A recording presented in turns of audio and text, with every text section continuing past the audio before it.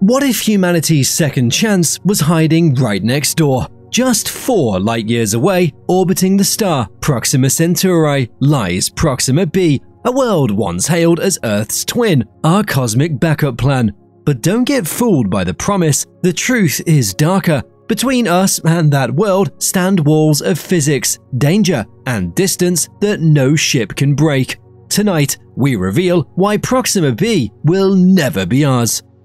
When Proxima b was announced in 2016, the world erupted. At last, an exoplanet right next door, circling the dim red star Proxima Centauri, just 4.24 light years away. Headlines screamed second Earth found, and scientists described it as lying in the habitable zone, where water could exist. Its year is just 11 Earth days, its size slightly larger than ours. On paper, it looked like a cosmic mirror of Earth, probably a potential paradise waiting for us. But science is rarely that simple. Proxima b orbits so close to its star that it might be tidally locked, with one side scorched in eternal daylight and the other frozen in endless night. If water exists, it might be trapped at the razor thin line between day and night. Even so, the dream was irresistible. Could this be humanity's escape plan, a new Eden across the void? But before we ask what it's like there, we need to face the biggest obstacle simply getting there. Four light years, it doesn't sound like much. On a cosmic map, Proxima b really is close, but distance, it plays tricks on us. Light itself, the fastest thing in existence, takes over four years to cross that gap. For us, it might as well be eternity. Voyager 1, humanity's most distant spacecraft, has been racing through space since 1977. After nearly 50 years, it's only reached about 0.05% of the distance to Proxima b. At its current speed, it would take 70,000 years to get there. Think about that 70,000 years ago, our ancestors were carving stone tools and dodging saber toothed cats. By the time Voyager reached Proxima b, humanity as we know it might not even exist anymore. And even our modern rockets, NASA's SLS or SpaceX's Starship, barely scratch the surface of that timescale. A trip would still take tens of thousands of years. Distance isn't just about numbers, it's about scale that crushes the imagination. So, what speed would we actually need to turn this impossible voyage into something a human could survive? To get there in, let's say, the next 50 years, we'd need to travel at 10% the speed of light, 30,000 kilometers per second. At that pace, you could fly from New York to Tokyo in less than a second. But there is this problem that we may face. Accelerating a craft at that speed requires energy on a godlike scale. To push a modest 1 ton ship to 10% light speed would consume more energy than all of humanity produces in an entire year. And that's just for acceleration. To stop at Proxima b, you'd need just as much energy again. The math doesn't just strain possibility, it breaks it. We're talking about engineering challenges so extreme, they make the moon landing look like a weekend road trip. And yet, speed is only half the nightmare, because once you're racing through the void, the universe itself turns against you. Interstellar space isn't empty, it's filled with dust, gas, and cosmic rays. At near light speeds, even the tiniest particle becomes catastrophic. A grain of sand would strike with the energy of an exploding bomb. Millions of such impacts could tear a ship apart long before it ever reached its destination. Then there's the invisible killer, radiation. Outside our solar system, cosmic rays and high energy particles flood space like a storm of invisible bullets. On Earth, we're shielded by our atmosphere and magnetic field. In deep space, at near light speed, astronauts would be roasted alive by radiation. The solution seems obvious thick shielding, but here's the paradox every layer of protection makes the ship heavier.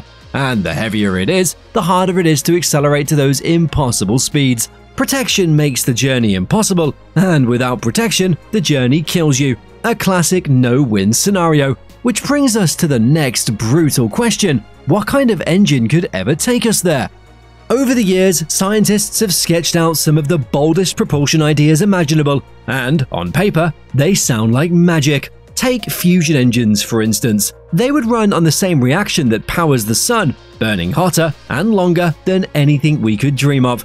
In theory, they could fling us across light years with incredible efficiency. The problem, though, is that after decades of research, we still haven't managed to build a working fusion reactor here on Earth, let alone one that could survive in deep space. Then there's antimatter. A single gram of it could release as much energy as a nuclear bomb, making it the most powerful fuel in the universe. But we can barely produce a few atoms of antimatter in labs, and storing it safely is a nightmare. One mistake, one breach in containment, and the ship itself would be obliterated in a flash. And finally, there's the idea of light sails, massive, ultra thin sheets pushed forward by giant lasers back on Earth. The breakthrough Starshot project dreams of sending tiny probes this way, racing through space at nearly 20% the speed of light. But those probes would be no bigger than a postage stamp, far too fragile to carry people, and vulnerable to every stray particle they slammed into along the way. All of these concepts sound breathtaking. They make us imagine starships leaping between the stars, but when you look closely, each one falls apart under the weight of reality. For now, they remain dreams, promises of a future we can't yet touch. And even if we somehow cracked one of these propulsion miracles, there's a darker truth waiting at the finish line. Proxima b itself might not be the welcoming world we hope for.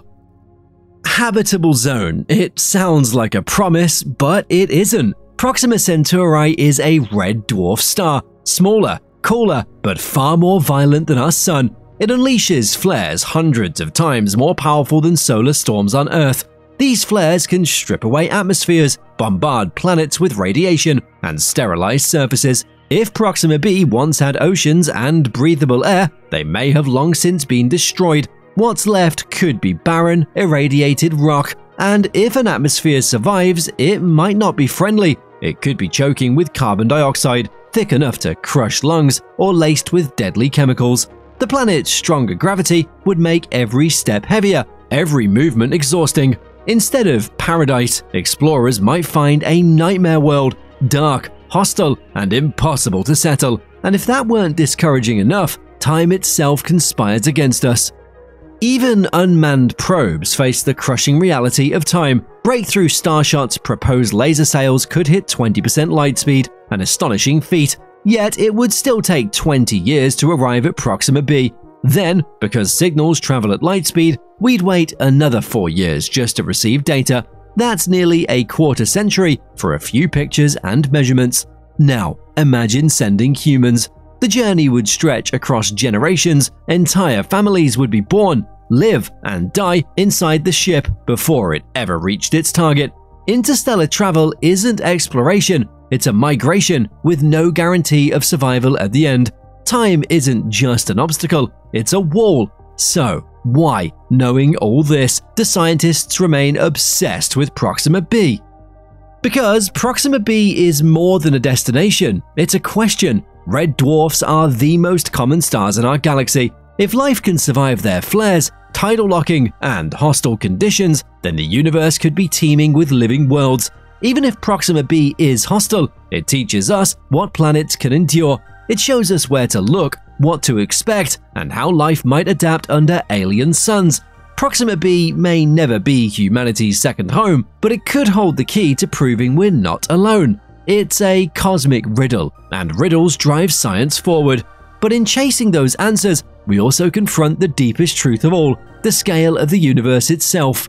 You might not know this, but the real reason that it's impossible, space isn't big. It's incomprehensibly big. Proxima b is our nearest star system, yet the gulf feels infinite. Our rockets are insects crawling across a continent. This is the cosmic prisons we live in. We are trapped inside our solar system, staring out at horizons we cannot cross. The bars aren't made of steel, they're made of distance, time, and the limits of our technology. Proxima b isn't just a planet, it's a mirror showing us how small we are, how fragile our ambitions look against the void. And yet, the human story has always been about breaking limits. Could the future rewrite the impossible? History whispers yes, flight was once impossible, space travel a fantasy, the moon unreachable. Yet, we conquered them all. Fusion may still be mastered. Antimatter could one day be harvested from the cosmos. Technologies beyond our imagination may lie ahead, just waiting for discovery. If that happens, Proxima b could shift from untouchable dream to reachable frontier. But until then, it remains out of reach, a reminder of how vast the cosmos is and how far we still have to go. The truth is sobering, but also inspiring. Proxima b dares us to dream bigger, because maybe its greatest purpose isn't to host us, but to challenge us. Proxima b will always haunt the night sky, glowing like a promise we can't keep, a planet so close, yet impossibly far. We may never set foot there, but perhaps that's the point. Perhaps it exists to remind us that the universe is both hostile and breathtaking, brutal and beautiful. In the end, Proxima b isn't our next home. It's a dare, a cosmic whisper saying go further, dream harder, reach for the impossible. And if that journey fired up your imagination, don't forget to like this video, hit subscribe, and turn on the bell, because the next frontier might just be stranger than anything we've imagined.